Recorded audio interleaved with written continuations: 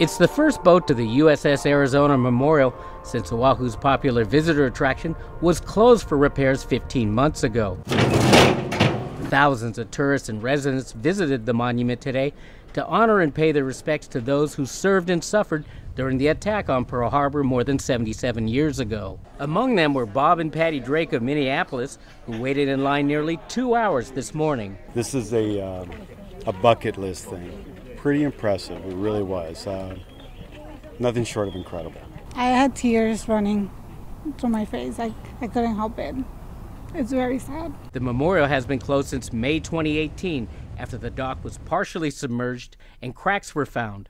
More than $2 million was spent on the renovation project. We had to do the rebuild the system from scratch and do it safely so people can now access it. I think we're all frustrated with the amount of time it took uh, to complete these, uh, these repairs.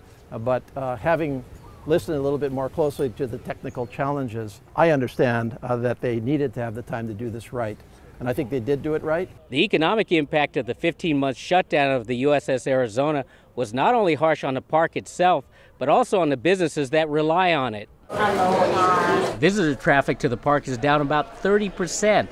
The drop in attendance has also affected sales at the Memorial's bookstore as well as the business of tour operators that bring visitors to the site. All hands on. One unexpected benefit tours to the nearby USS Missouri have increased during the Arizona's closure. Attendance throughout the monument is expected to surge back now that the fixes are complete. Totally blessed that it was open.